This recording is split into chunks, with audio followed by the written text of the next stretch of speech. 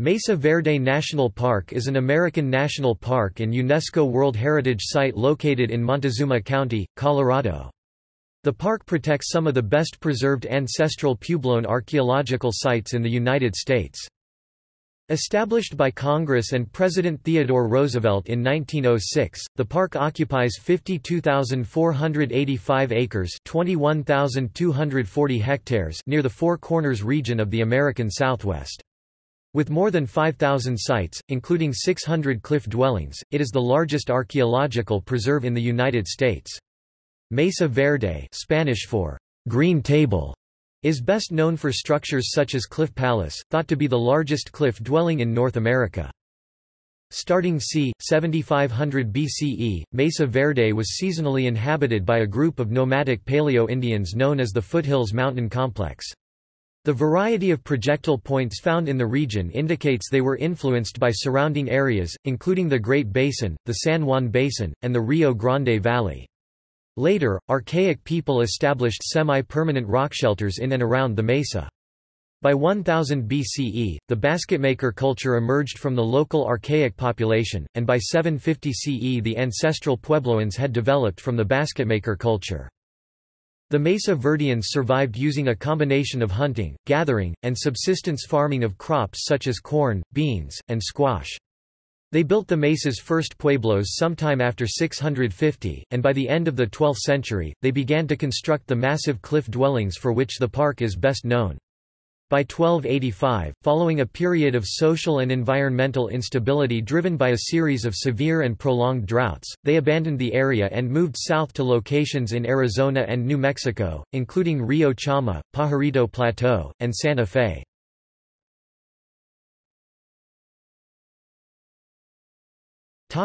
Inhabitants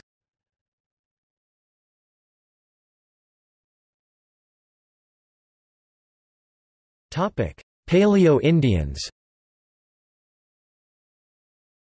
The first occupants of the Mesa Verde region, which spans from southeastern Utah to northwestern New Mexico, were nomadic Paleo-Indians who arrived in the area c. 9500 BCE. They followed herds of big game and camped near rivers and streams, many of which dried up as the glaciers that once covered parts of the San Juan Mountains receded. The earliest Paleo-Indians were the Clovis culture and Folsom tradition, defined largely by the way in which they fashioned projectile points. Although they left evidence of their presence throughout the region, there is little indication that they lived in central Mesa Verde during this time. After 9600 BCE, the area's environment grew warmer and drier, a change that brought to central Mesa Verde pine forests and the animals that thrive in them. Paleo-Indians began inhabiting the mesa in increasing numbers c. 7500, though it is unclear whether they were seasonal occupants or year-round residents. Development of the atlatl during this period made it easier for them to hunt smaller game, a crucial advance at a time when most of the region's big game had disappeared from the landscape.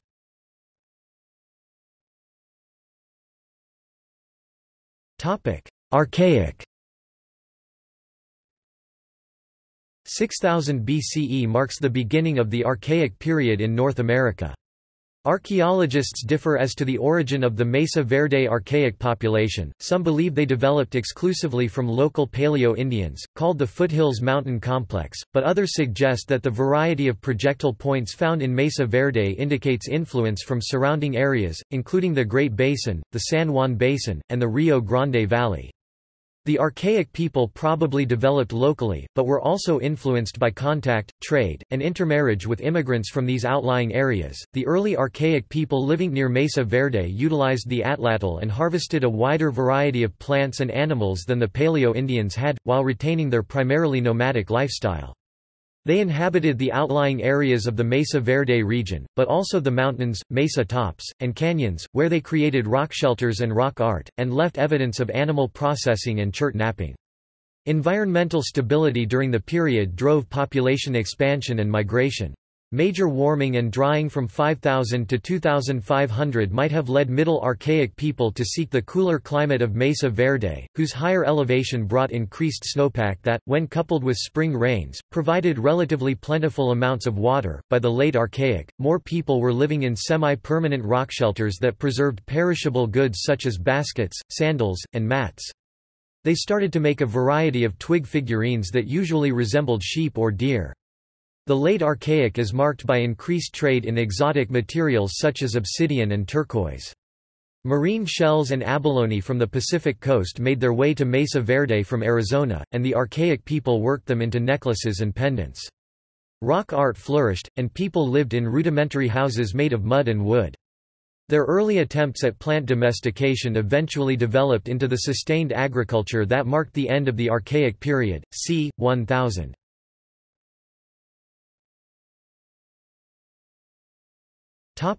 Basketmaker culture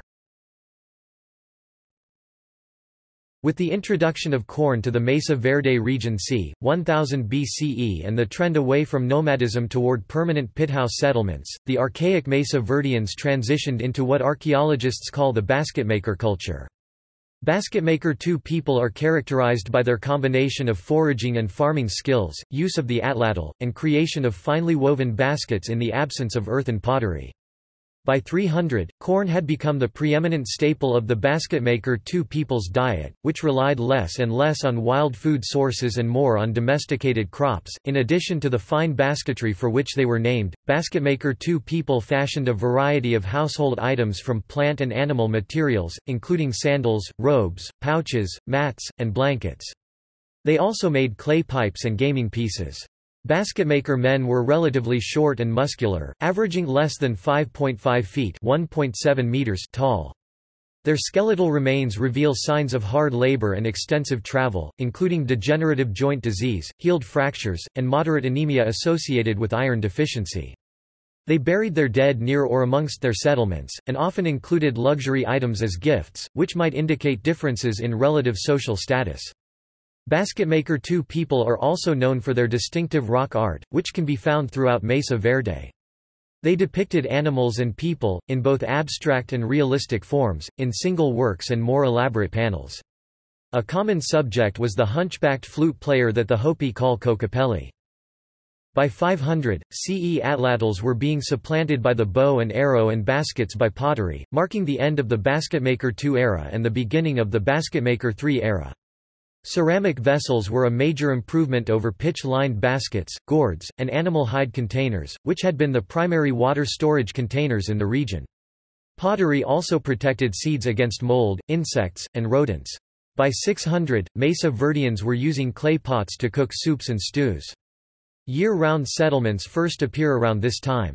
The population of the San Juan Basin increased markedly after 575, when there were very few basketmaker III sites in Mesa Verde. By the early 7th century, there were many such sites in the mesa.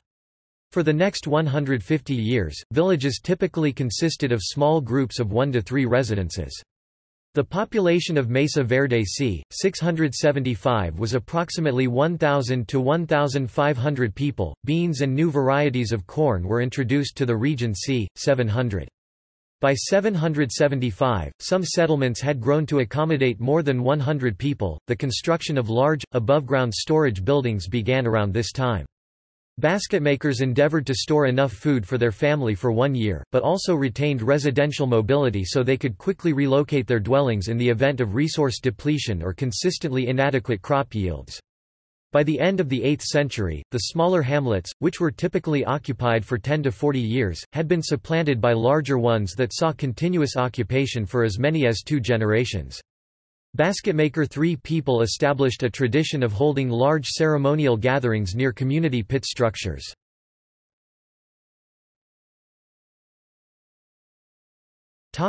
Ancestral Puebloans.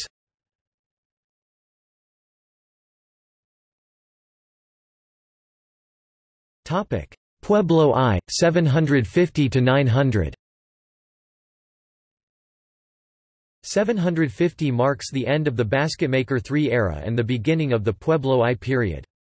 The transition is characterized by major changes in the design and construction of buildings and the organization of household activities.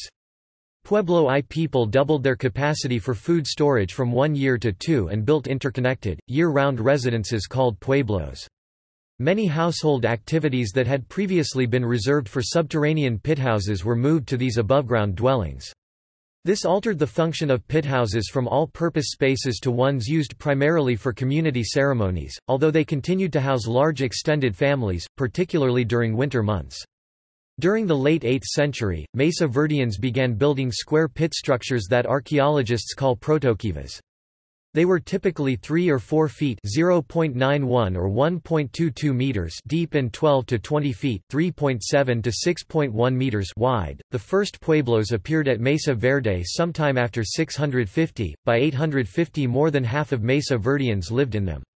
As local populations grew, Puebloans found it difficult to survive on hunting, foraging, and gardening, which made them increasingly reliant on domesticated corn. This shift from semi-nomadism to a Sedentary and communal way of life changed ancestral Pueblo society forever. Within a generation the average number of households in these settlements grew from 1 to 3 to 15 to 20, with average populations of 200 people.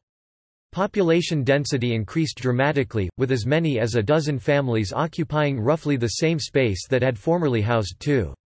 This brought increased security against raids and encouraged greater cooperation amongst residents. It also facilitated trade and intermarriage between clans, and by the late 8th century, as Mesa Verde's population was being augmented by settlers from the south, four distinct cultural groups occupied the same villages. Large Pueblo I settlements laid claim to the resources found within 15 to 30 square miles, 39 to 78 square kilometers. They were typically organized in groups of at least 3 and spaced about 1 mile, 1.6 kilometers apart. By 860, there were approximately 8,000 people living in Mesa Verde. Within the plazas of larger villages, the Pueblo I people dug massive pit structures of 800 square feet 74 square meters that became central gathering places. These structures represent early architectural expressions of what would eventually develop into the Pueblo II-era great houses of Chaco Canyon. Despite robust growth during the early and mid-9th century, unpredictable rainfall and periodic drought led to a dramatic reversal of settlement trends in the area. Many late Pueblo I villages were abandoned after less than 40 years of occupation, and by 880 Mesa Verde's population was in steady decline. The beginning of the 10th century saw widespread depopulation of the region, as people emigrated south of the San Juan River to Chaco Canyon in search of reliable rains for farming. As Mesa Verdeans migrated south, to where many of their ancestors had emigrated 200 years before, the influence of Chaco Canyon grew, and by 950 Chaco had supplanted Mesa Verde as the region's cultural center.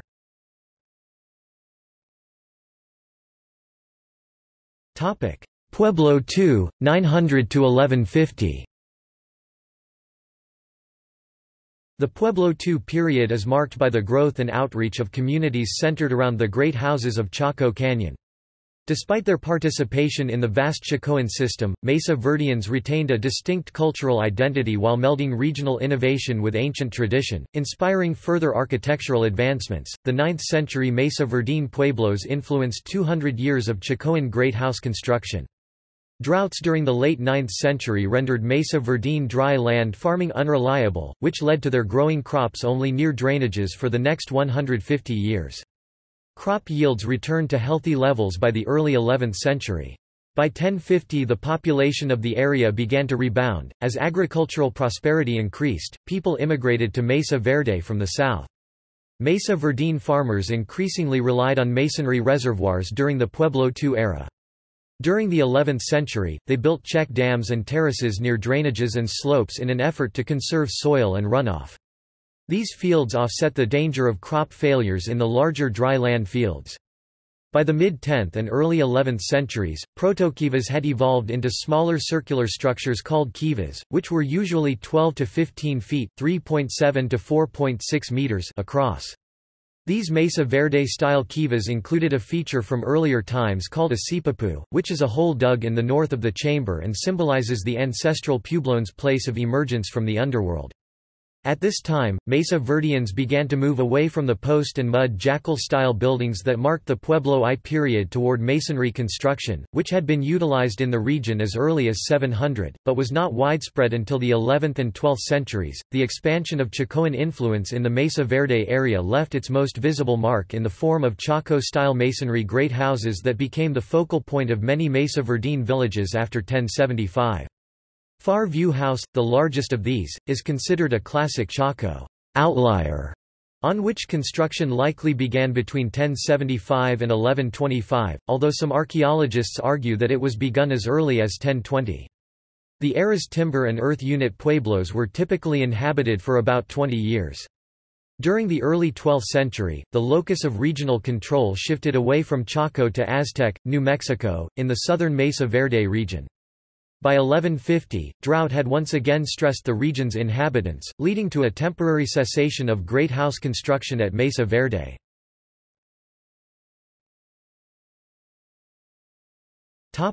Pueblo III, 1150–1300 A severe drought from 1130 to 1180 led to rapid depopulation in many parts of the San Juan Basin, particularly at Chaco Canyon. As the extensive Chacoan system collapsed, people increasingly migrated to Mesa Verde, causing major population growth in the area. This led to much larger settlements of 6 to 800 people, which reduced mobility for Mesa Verdeans, who had in the past frequently relocated their dwellings and fields as part of their agriculture strategy. In order to sustain these larger populations, they dedicated more and more of their labor to farming. Population increases also led to expanded tree felling that reduced habitat for many wild plant and animal species that the Mesa Verdeans had relied on, further deepening their dependency on domesticated crops that were susceptible to drought-related failure. The Chacoan system brought large quantities of imported goods to Mesa Verde during the late 11th and early 12th centuries, including pottery, shells, and turquoise, but by the late 12th century, as the system collapsed, the amount of goods imported by the Mesa quickly declined, and Mesa Mesa Verde became isolated from the surrounding region. For approximately 600 years, most Mesa Verdean farmers had lived in small, mesa-top homesteads of one or two families. They were typically located near their fields and walking distance to sources of water. This practice continued into the mid to late 12th century, but by the start of the 13th century they began living in canyon locations that were close to water sources and within walking distance of their fields. Mesa Verdean villages thrived during the mid Pueblo III era, when architects constructed massive, multi story buildings, and artisans adorned pottery with increasingly elaborate designs. Structures built during this period have been described as among the world's greatest archaeological treasures. Pueblo III masonry buildings were typically occupied for approximately 50 years, more than double the usable lifespan of the Pueblo II jacal structures. Others were continuously inhabited for 200 years or more. Architectural innovations such as towers and multi-walled structures also appear during the Pueblo III era. Mesa Verde's population remained fairly stable during the 12th century drought. At the start of the 13th century, approximately 22,000 people lived there. The area saw moderate population increases during the following decades, and dramatic ones from 1225 to 1260. Most of the people in the region lived in the plains west of the mesa at locations such as Yellow Jacket Pueblo, near Cortez, Colorado. Others colonized canyon rims and slopes in multi-family structures that grew to unprecedented size as population swelled. By 1260, the majority of Mesa Verdeans lived in large pueblos that housed several families and more than 100 people. The 13th century saw 69 years of below average rainfall in the Mesa Verde region, and after 1270 the area suffered from especially cold temperatures. Dendrochronology indicates that the last tree felled for construction on the mesa was cut in 1281. There was a major decline in ceramic imports to the region during this time, but local production remained steady. Despite challenging conditions, the Puebloans continued to farm the area until a severely dry period from 1276 to 1299 ended 700 years of continuous human occupation at Mesa Verde. Archaeologists refer to this period as the Great Drought. The last inhabitants of the mesa left the area c. 1285.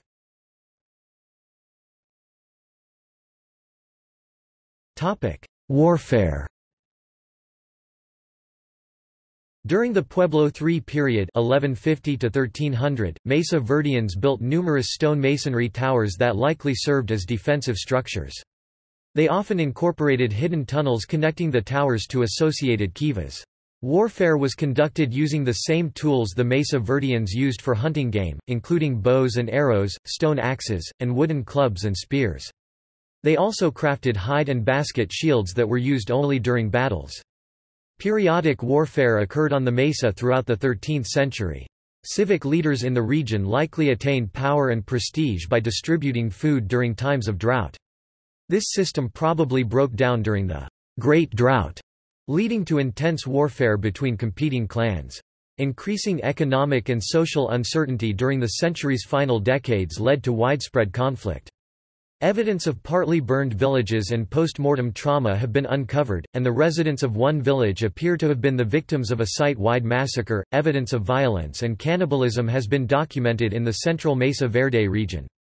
While most of the violence, which peaked between 1275 and 1285, is generally ascribed to infighting amongst Mesa Verdeans, archaeological evidence found at Sand Canyon Pueblo, in Canyons of the Ancients National Monument, suggests that violent interactions also occurred between Mesa Verdeans and people from outside the region.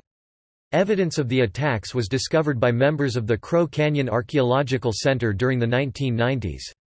The assaults, which also occurred at the National Monuments Castle Rock Pueblo, were dated to c. 1280, and are considered to have effectively ended several centuries of Puebloan occupation at those sites.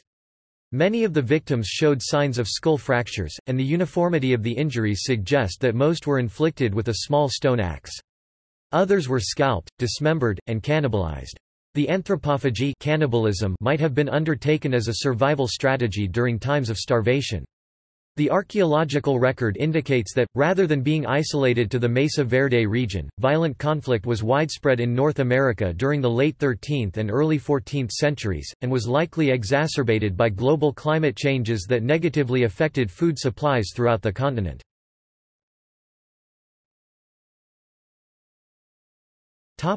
Migration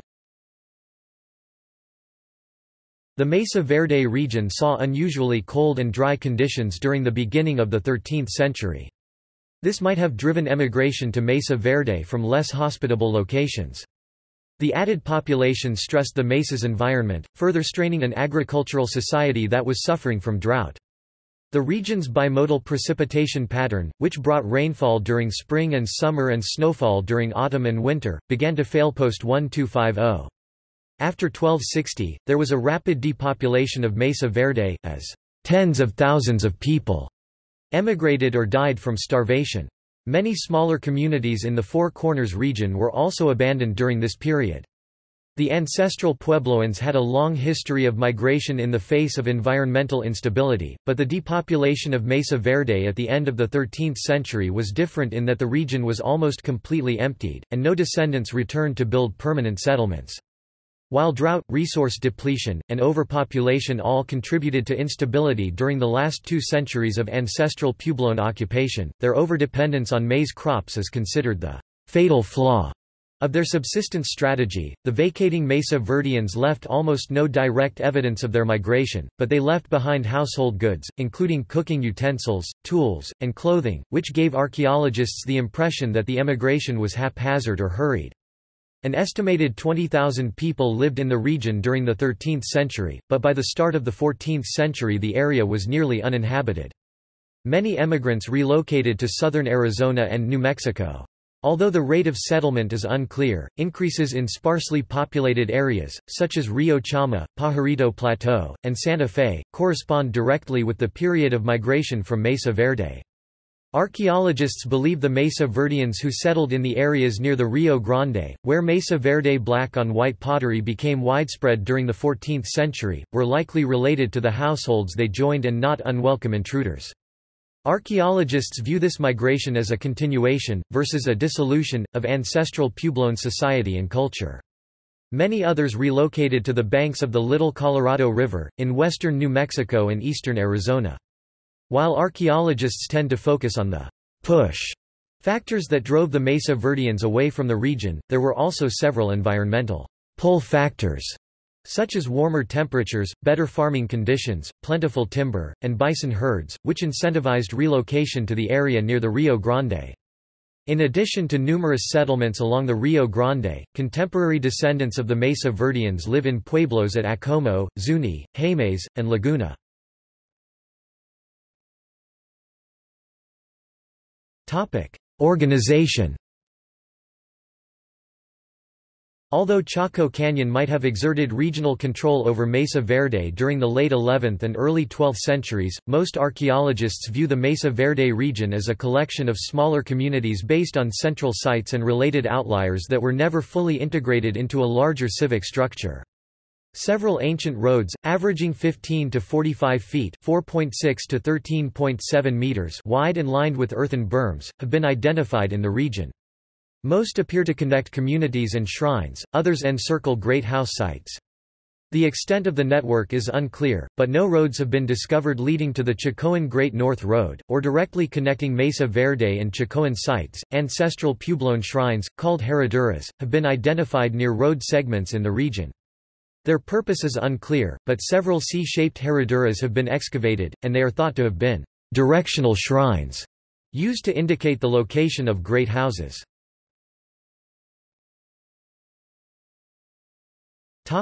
Architecture. Mesa Verde is best known for a large number of well-preserved cliff dwellings, houses built in alcoves, or rock overhangs along the canyon walls. The structures contained within these alcoves were mostly blocks of hard sandstone, held together and plastered with adobe mortar. Specific constructions had many similarities but were generally unique in form due to the individual topography of different alcoves along the canyon walls. In marked contrast to earlier constructions and villages on top of the mesas, the cliff dwellings of Mesa Verde reflected a region-wide trend towards the aggregation of growing regional populations into close, highly defensible quarters during the 13th century. Pueblo buildings were built with stone, windows facing south, and in U, E and L shapes. The buildings were located more closely together and reflected deepening religious celebration. Towers were built near kivas and likely used for lookouts. Pottery became more versatile, including pitchers, ladles, bowls, jars and dishware for food and drink. White pottery with black designs emerged, the pigments coming from plants. Water management and conservation techniques, including the use of reservoirs and silt-retaining dams, also emerged during this period.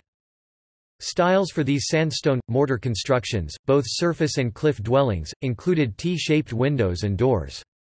This has been taken by some archaeologists, including Stephen H. Lekson, as evidence of the continuing reach of the Chacoan system. Other researchers see these elements as part of a more generalized Puebloan style or spiritual significance rather than evidence of a continuing specific elite socio-economic system. While much of the construction in these sites is consistent with common Pueblo architectural forms, including kivas, towers, and pit houses, the space constrictions of these alcoves necessitated what seems to have been a far denser concentration of their populations. Mug House, a typical cliff dwelling of the period, was home to around 100 people who shared 94 small rooms and 8 kivas built against each other and sharing many of their walls. Builders in these areas maximized space in any way they could, with no areas considered off limits to construction.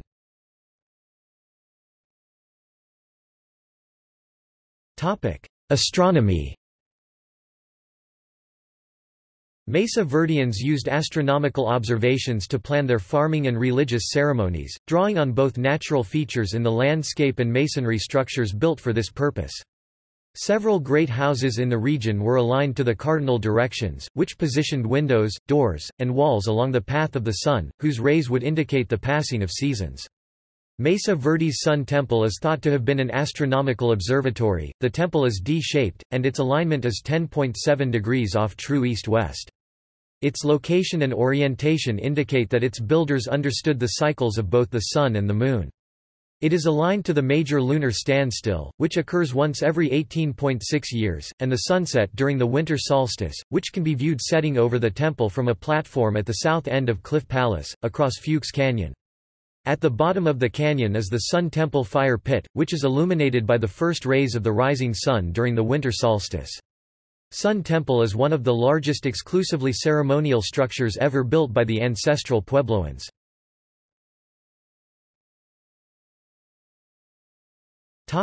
Agriculture and water control systems Starting in the 6th century, the farmers living in central Mesa Verde cultivated corn, beans, squash, and gourds. The combination of corn and beans provided the Mesa Verdeans with the amino acids of a complete protein. When conditions were good, 3 or 4 acres 1.2 or 1.6 hectares of land would provide enough food for a family of 3 or 4 individuals for one year, providing they supplemented with game and wild plants. As Mesa Verdeans increasingly relied on corn as a dietary staple, the success or failure of crop yields factored heavily into their lives. The mesa tilts slightly to the south, which increased its exposure to the sun. Before the introduction of pottery, foods were baked, roasted, and parched. Hot rocks dropped into containers could bring water to a brief boil, but because beans must be boiled for an hour or more their use was not widespread until after pottery had disseminated throughout the region. With the increased availability of ceramics after 600, beans became much easier to cook. This provided a high-quality protein that reduced reliance on hunting. It also aided corn cultivation, as legumes add much needed nutrients to soils they are grown in, which likely increased corn yields. The most Mesa Verdeans practiced dry farming, which relied on rain to water their crops, but others utilized runoff, springs, seeps, and natural collection pools. Starting in the 9th century, they dug and maintained reservoirs that caught runoff from summer showers and spring snowmelt. Some crops were watered by hand.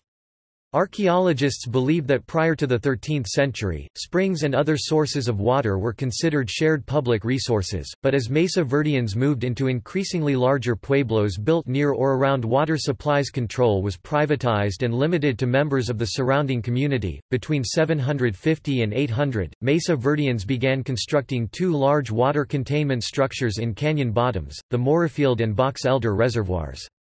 Soon afterward, work began on two more, the Far View and Sagebrush reservoirs, which were approximately 90 feet 27 meters across and constructed on the mesa top.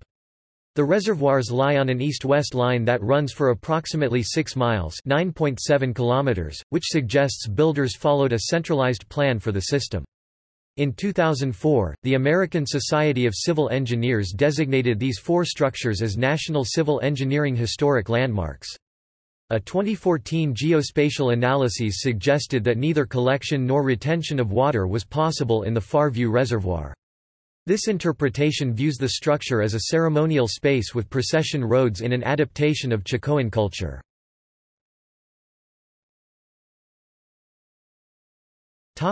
Hunting and foraging Mesa Verdeans typically harvested local small game, but sometimes organized hunting parties that traveled long distances. Their main sources of animal protein came from mule deer and rabbits, but they occasionally hunted bighorn sheep, antelope, and elk. They began to domesticate turkeys starting around 1000, and by the 13th century consumption of the animal peaked, supplanting deer as the primary protein source at many sites. These domesticated turkeys consumed large amounts of corn, which further deepened reliance on the staple crop. Puebloans wove blankets from turkey feathers and rabbit fur, and made implements such as awls and needles from turkey and deer bones. Despite the availability of fish in the area's rivers and streams, archaeological evidence suggests that they were rarely eaten. Mesa Verdeans supplemented their diet by gathering the seeds and fruits of wild plants, searching large expanses of land while procuring these resources. Depending on the season, they collected piñón nuts and juniper berries, weedy goosefoot, pigweed, purslane, tomatillo, tansy mustard, globe mallow, sunflower seeds, and yucca, as well as various species of grass and cacti. Prickly pear fruits provided a rare source of natural sugar. Wild seeds were cooked and ground up into porridge. They used sagebrush and mountain mahogany, along with piñón and juniper, for firewood. They also smoked wild tobacco. Because the ancestral Puebloans considered all material consumed and discarded by their communities as sacred, their midden piles were viewed with reverence. Starting during the Basketmaker III period, c. 700, Mesa Verdeans often buried their dead in these mounds.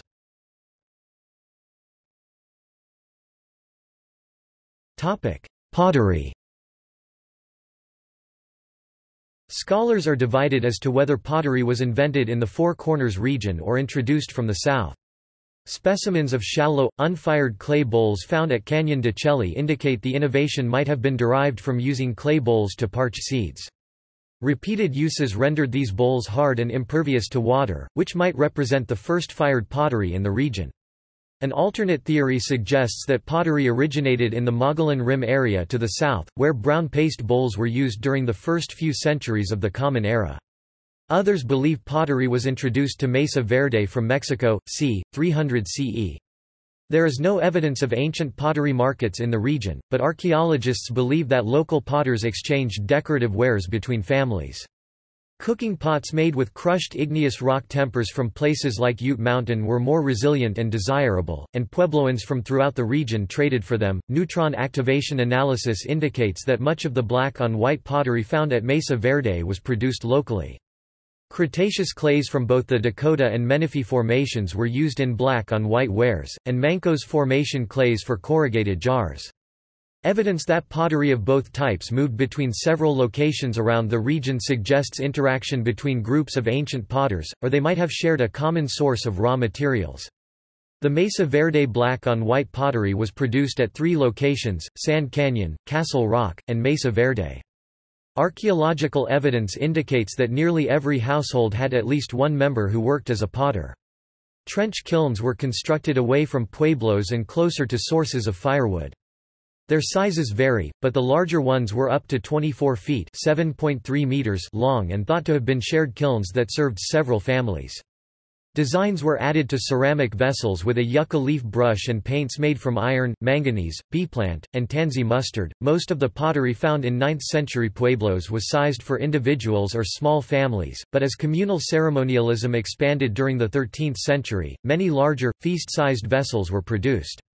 Corrugated decorations appear on Mesa Verde gray wares after 700, and by 1000 entire vessels were crafted in this way. The technique created a rough exterior surface that was easier to hold on to than regular gray wares, which were smooth. By the 11th century these corrugated vessels, which dissipated heat more efficiently than smoother ones, had largely replaced the older style, whose tendency to retain heat made them prone to boiling over. Corrugation likely developed as ancient potters attempted to mimic the visual properties of coiled basketry. Corrugated wares were made using clay from formations other than Menefee, which suggests that ancient potters selected different clays for different styles. Potters also selected clays and altered firing conditions to achieve specific colors. Under normal conditions, pots made of Mancos shale turned gray when fired, and those made of Morrison Formation clay turned white. Clays from southeastern Utah turned red when fired in a high oxygen environment.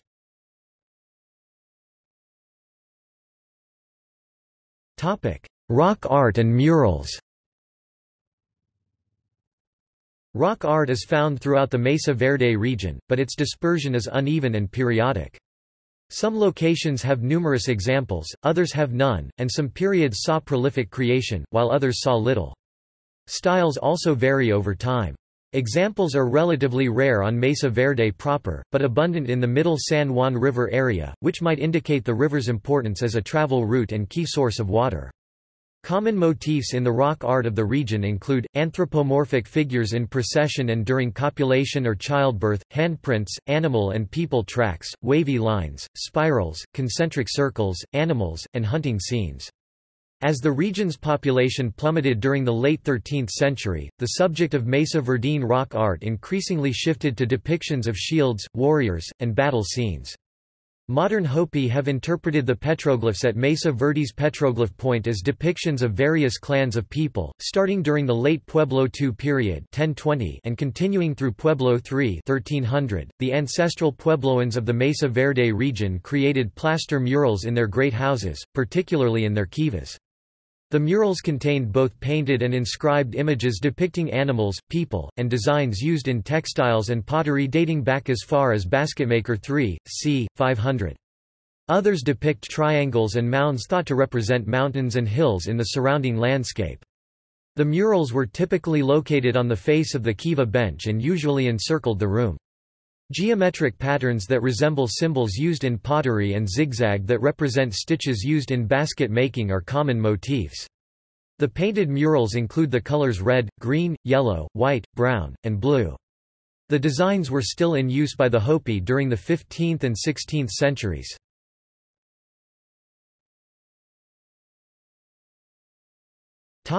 Anthropogenic ecology, geography, and climate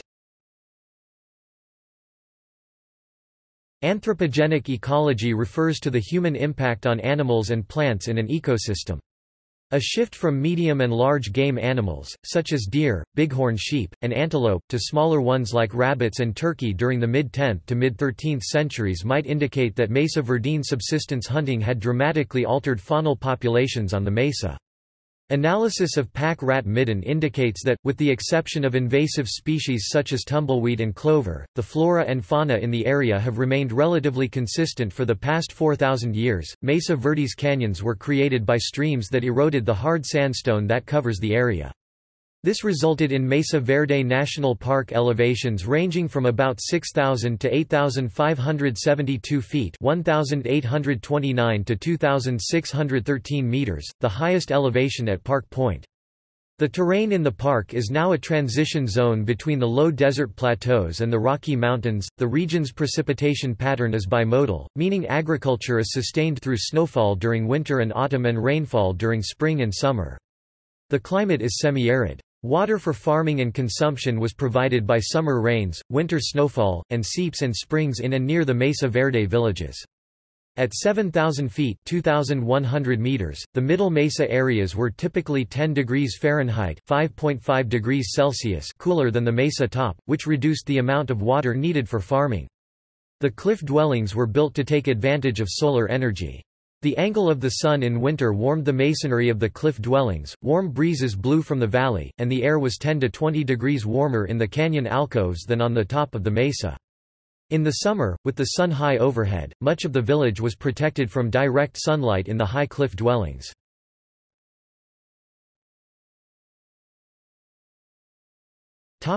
Geology Although the area's first Spanish explorers named the feature Mesa Verde, the term is a misnomer, as true mesas are almost perfectly flat.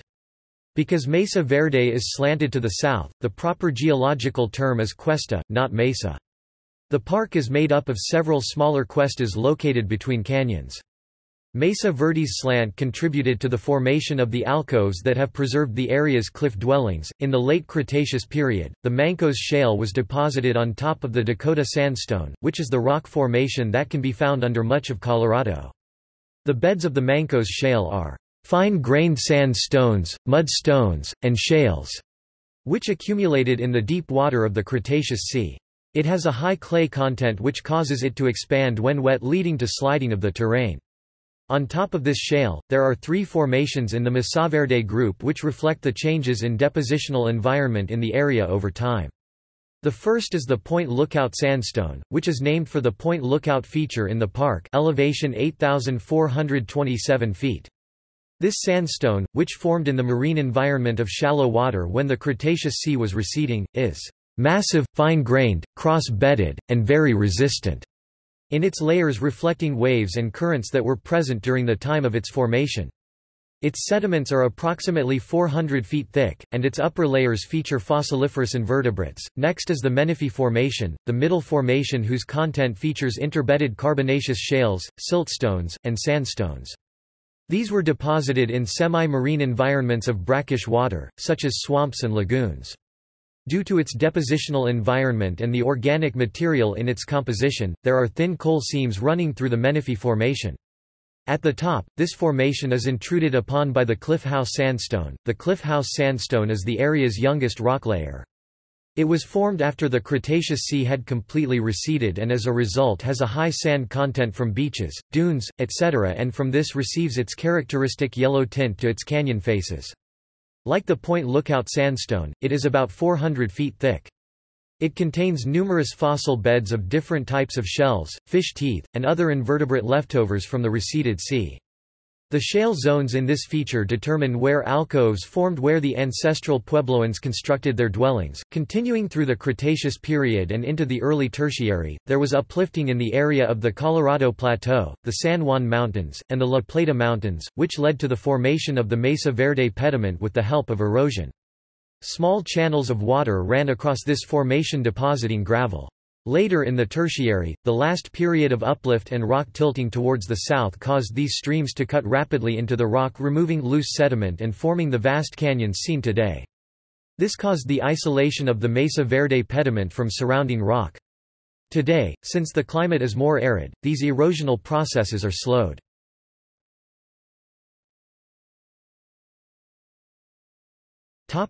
Rediscovery Mexican Spanish missionaries and explorers Francisco Atanasio Dominguez and Silvestre Vélez de Escalante, seeking a route from Santa Fe to California, faithfully recorded their travels in 1776. They reached Mesa Verde Green Plateau region, which they named after its high, tree-covered plateaus, but they never got close enough, or into the needed angle, to see the ancient stone villages. They were the first white men to travel the route through much of the Colorado Plateau into Utah and back through Arizona to New Mexico. The Mesa Verde region has long been occupied by the Utes, and an 1868 treaty between them and the United States government recognized Ute ownership of all Colorado land west of the Continental Divide. After there had become an interest in land in western Colorado, a new treaty in 1873 left the Ute with a strip of land in southwestern Colorado between the border with New Mexico and 15 miles north. Most of Mesa Verde lies within this strip of land. The Ute wintered in the warm, deep canyons and found sanctuary there and the high plateaus of Mesa Verde. Believing the cliff dwellings to be sacred ancestral sites, they did not live in the ancient dwellings. Occasional trappers and prospectors visited, with one prospector, John Moss, making his observations known in 1873. The following year, Moss led eminent photographer William Henry Jackson through Mancos Canyon, at the base of Mesa Verde. There, Jackson both photographed and publicized a typical stone cliff dwelling. Geologist William H. Holmes retraced Jackson's route in 1875. Reports by both Jackson and Holmes were included in the 1876 report of the Hayden Survey, one of the four federally financed efforts to explore the American West. These and other publications led to proposals to systematically study southwestern archaeological sites. In her quest to find ancestral Puebloan settlements, Virginia McClurg, a journalist for the New York Daily Graphic, visited Mesa Verde in 1882 and 1885. Her party rediscovered Echo Cliff House, Three Tier House, and Balcony House in 1885. These discoveries inspired her to protect the dwellings and artifacts.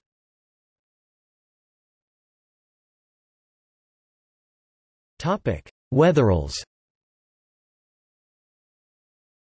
A family of cattle ranchers, the Wetherills, befriended members of the Ute tribe near their ranch southwest of Mancos, Colorado. With the Ute tribe's approval, the Wetherills were allowed to bring cattle into the lower, warmer plateaus of the present Ute Reservation during winter. Word of the ancestral Puebloan great houses had spread, and Acowitz, a member of the Ute tribe, told the Wetherills of a special cliff dwelling in Mesa Verde. Deep in that canyon and near its head are many houses of the old people, the ancient ones. One of those houses, high, high in the rocks, is bigger than all the others. Utes never go there, it is a sacred place. On December 18, 1888, Richard Wetherill and cowboy Charlie Mason rediscovered Cliff Palace after spotting the ruins from the top of Mesa Verde. Wetherill gave the ruin its present-day name. Richard Wetherill, family and friends explored the ruins and gathered artifacts, some of which they sold to the Historical Society of Colorado and much of which they kept. Among the people who stayed with the Wetherills and explored the cliff dwellings was mountaineer, photographer, and author Frederick H. Chapin, who visited the region during 1889 and 1890. He described the landscape and ruins in an 1890 article and later in an 1892 book, The Land of the Cliff Dwellers, which he illustrated with hand-drawn maps and personal photographs.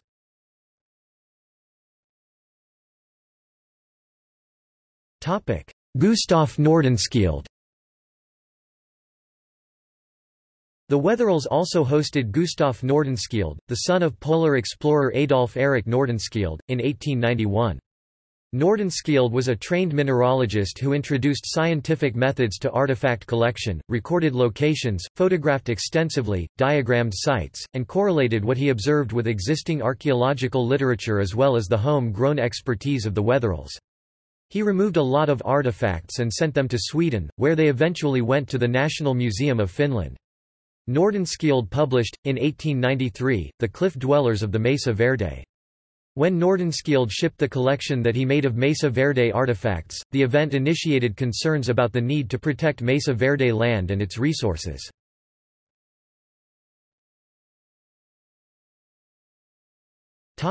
National Park In 1889, Goodman Point Pueblo became the first pre-Columbian archaeological site in the Mesa Verde region to gain federal protection.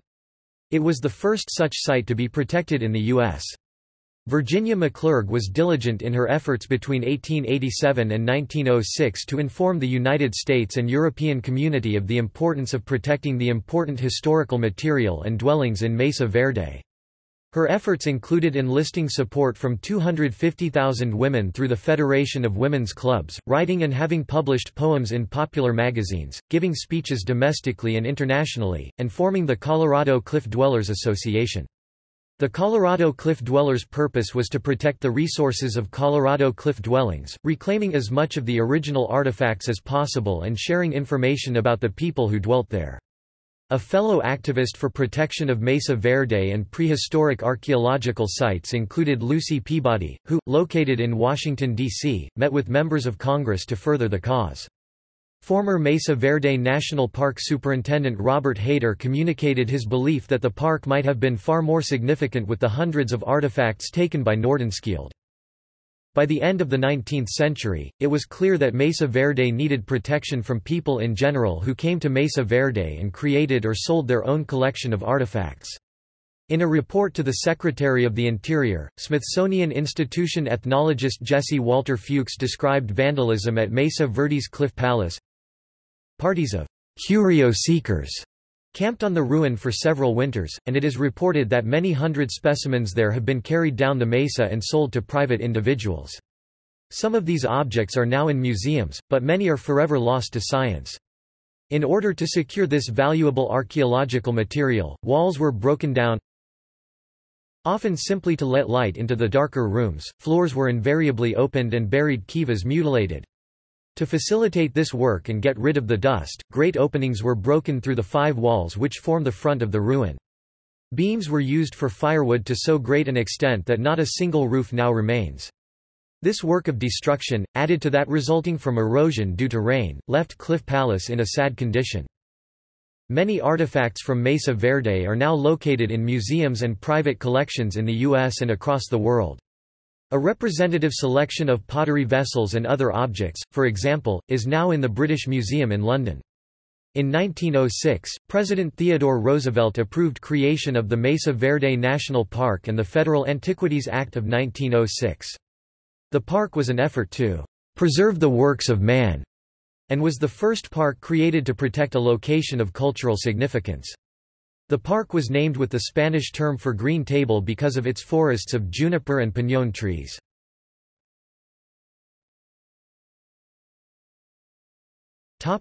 Excavation and protection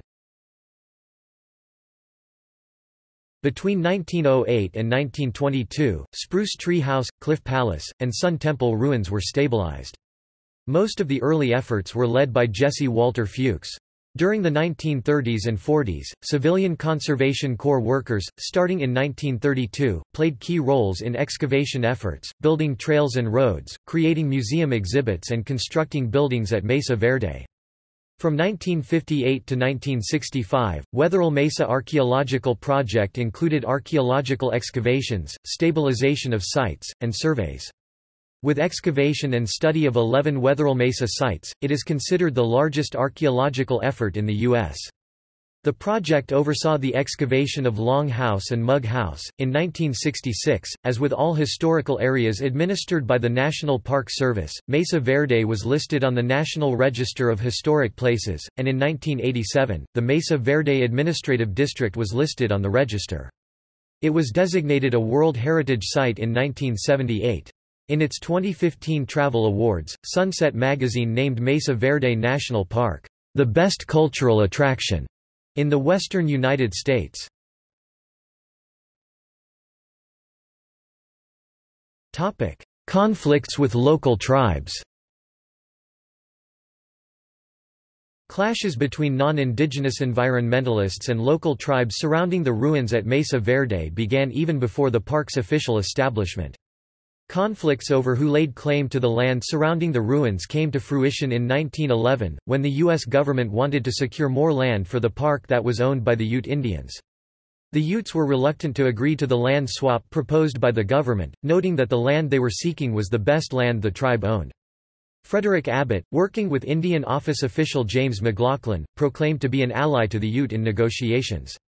Abbott later claimed that the government was stronger than the Utes, saying that when the government finds old ruins on land that it wants to take for public purposes, it has the right to take it. Feeling they were left with no other options, the Utes reluctantly agreed to trade the 10,000 acres on Chapin Mesa for 19,500 acres on Ute Mountain. The Utes continued to battle the Bureau of Indian Affairs to prevent more Ute land from being incorporated into the park.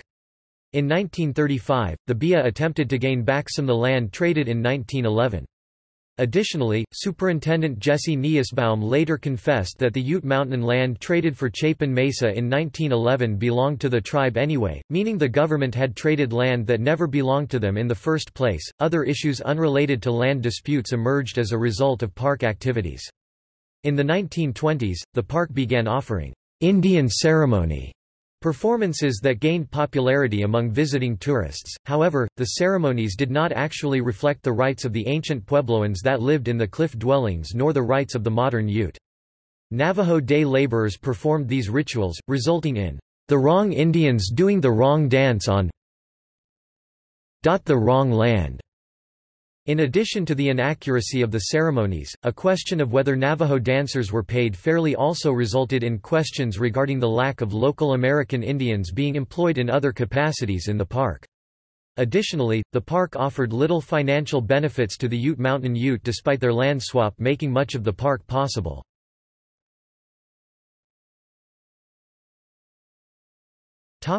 Services The entrance to Mesa Verde National Park is on U.S. Route 160, approximately 9 miles 14 kilometers east of the community of Cortez and 7 miles 11 kilometers west of Mancos, Colorado. The park covers 52,485 acres 21,240 hectares. It contains 4,372 documented sites, including more than 600 cliff dwellings. It is the largest archaeological preserve in the U.S. It protects some of the most important and best preserved archaeological sites in the country. The park initiated the Archaeological Site Conservation Program in 1995. It analyses data pertaining to how sites are constructed and utilized. The Mesa Verde Visitor and Research Center is located just off of Highway 160 and is before the park entrance booths. The Visitor and Research Center opened in December 2012. Chapin Mesa the most popular area is 20 miles 32 kilometers beyond the visitor center. Mesa Verde National Park is an area of federal exclusive jurisdiction. Because of this all law enforcement, emergency medical service, and wildland, structural fire duties are conducted by Federal National Park Service law enforcement rangers. The Mesa Verde National Park Post Office has the zip code 81330. Access to park facilities vary by season. Three of the cliff dwellings on Chapin Mesa are open to the public. The Chapin Mesa Archaeological Museum is open all year. Spruce Tree House is also open all year, weather permitting. Balcony House, Long House and Cliff Palace require tour tickets for ranger-guided tours. Many other dwellings are visible from the road but not open to tourists. The park offers hiking trails, a campground, and, during peak season, facilities for food, fuel, and lodging, these are unavailable in the winter.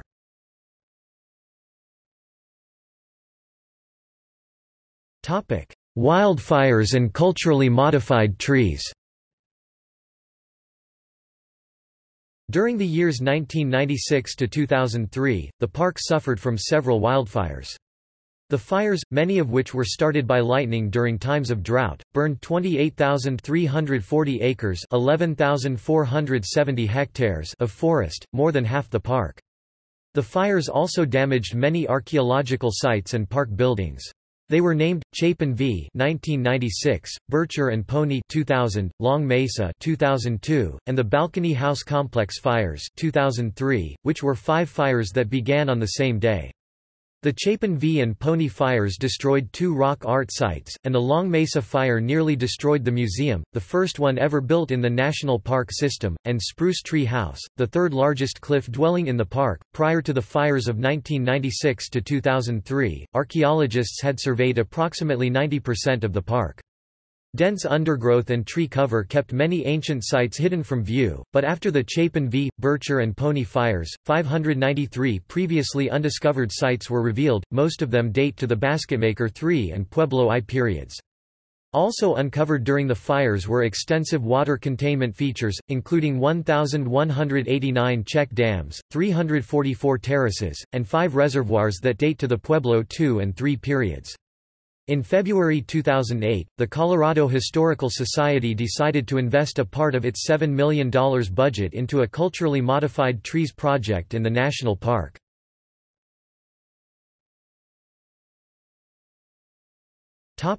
Ute Mountain Tribal Park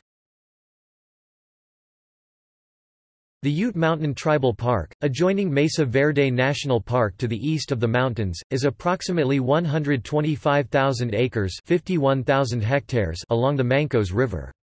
Hundreds of surface sites, cliff dwellings, petroglyphs, and wall paintings of ancestral Puebloan and Ute cultures are preserved in the park. Native American Ute tour guides provide background information about the people, culture, and history of the parklands.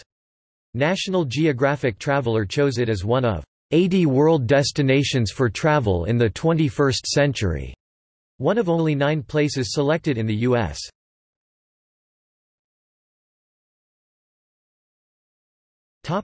Key sites In addition to the cliff dwellings, Mesa Verde boasts a number of mesa top ruins. Examples open to public access include the Far View Complex and Cedar Tree Tower on Chapin Mesa, and Badger House Community, on Wetherill Mesa.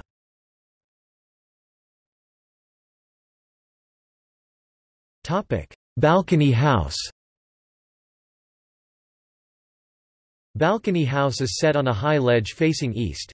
Its 45 rooms and two kivas would have been cold during the winter.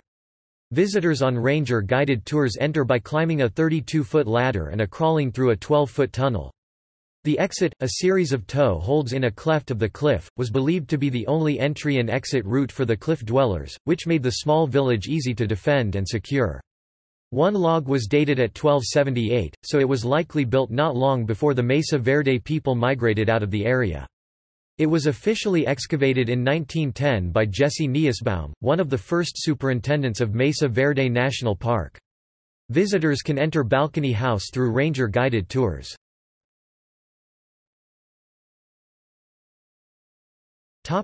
Cliff Palace This multi-storied ruin, the best-known cliff dwelling in Mesa Verde, is located in the largest alcove in the center of the Great Mesa. It was south and southwest facing, providing greater warmth from the sun in the winter. Dating back more than 700 years, the dwelling is constructed of sandstone, wooden beams, and mortar. Many of the rooms were brightly painted. Cliff Palace was home to approximately 125 people, but was likely an important part of a larger community of 60 nearby pueblos, which housed a combined 600 or more people. With 23 kivas and 150 rooms, Cliff Palace is the largest cliff dwelling in Mesa Verde National Park.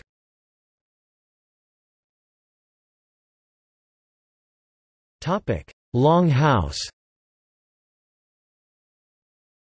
Located on the Wetherill Mesa, Long House is the second largest Mesa Verdean village, approximately 150 people lived there.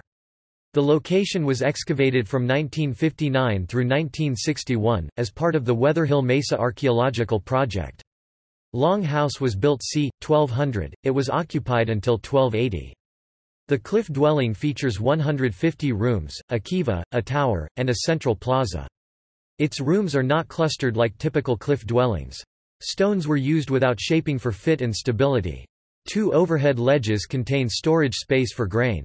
One ledge seems to include an overlook with small holes in the wall to see the rest of the village below. A spring is accessible within several hundred feet, and seeps are located in the rear of the village.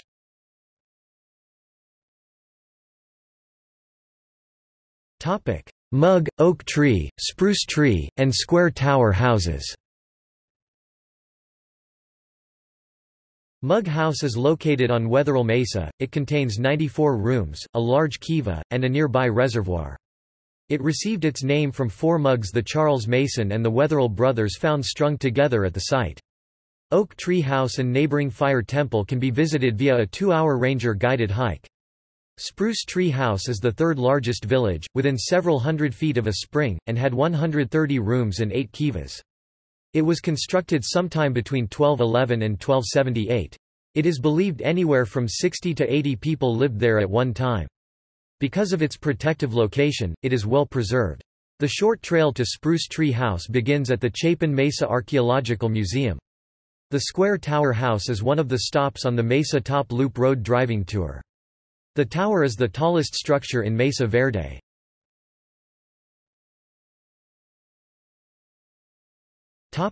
See also. Media related to Mesa Verde National Park at Wikimedia Commons image gallery. List of national parks of the United States. List of prehistoric sites in Colorado National monuments with ruins, cliff dwellings in the southwestern United States